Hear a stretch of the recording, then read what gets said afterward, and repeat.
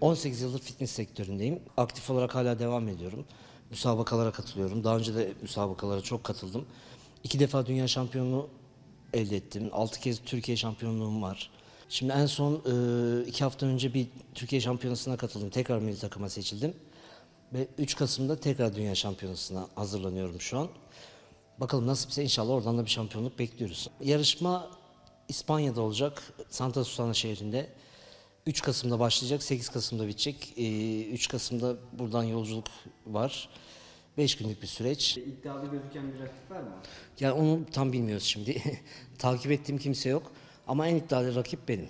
Şu an çünkü benim anatomim iyi. Bunda simetriye bakıyorlar, anatomiye bakıyorlar, alt üst orantıya bakıyorlar.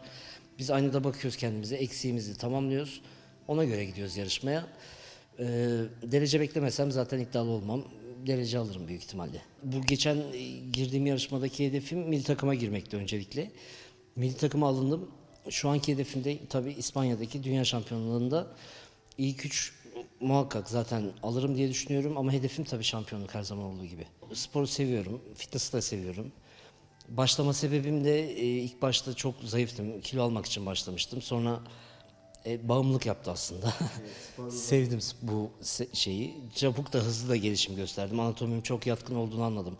3 ay 4 ay sonra falan. Bir sene sonra zaten bir tane hocam vardı. Yarışmayla hazırlanın dedi.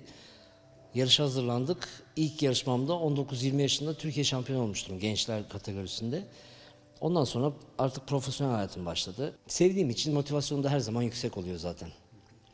Yani hırsım, azmim hiçbir zaman düşmüyor. Tavsiyem herkes spor yapsın, sağlıklı beslensin, sabırlı olsunlar, uzun vadede beklentiye girsinler, sporunu yapsınlar, çok da abartmasınlar her şeyi. Yani çok da hayatın merkezine koyanlar var.